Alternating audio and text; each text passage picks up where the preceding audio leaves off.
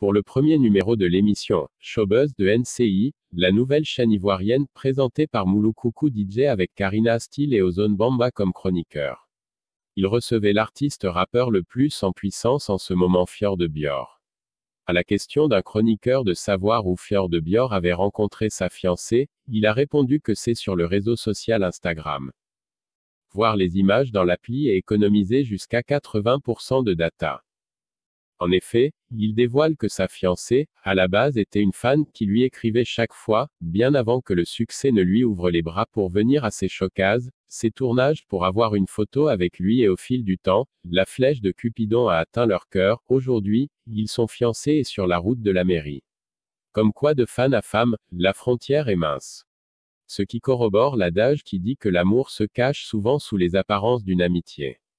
Fior a trouvé chaussure à son pied, nous on ne peut qu'être heureux, leur adresser nos vives félicitations surtout bonne chance pour la suite.